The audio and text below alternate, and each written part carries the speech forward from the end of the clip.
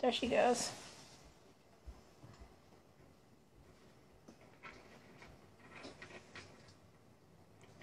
I think she has like a weird thing with her rear end.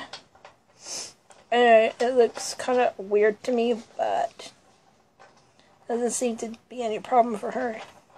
She's quite speedy despite it. This one's Sandy.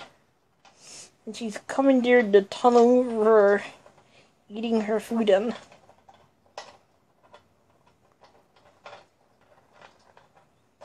And uh, Cindy is still sleeping.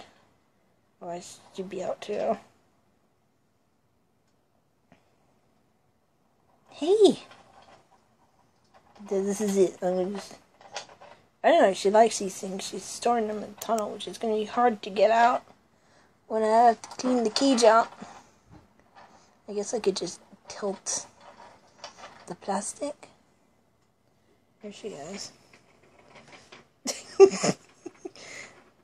Dad, she, she's now about eight weeks old or something. She's the smaller of the two. Yeah.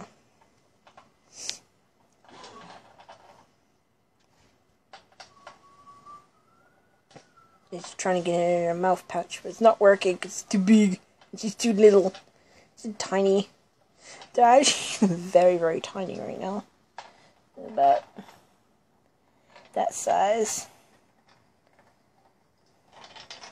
So compared to Lunar, who's like full grown.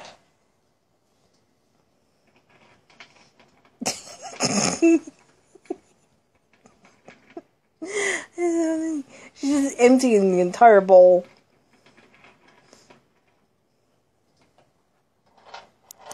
Go.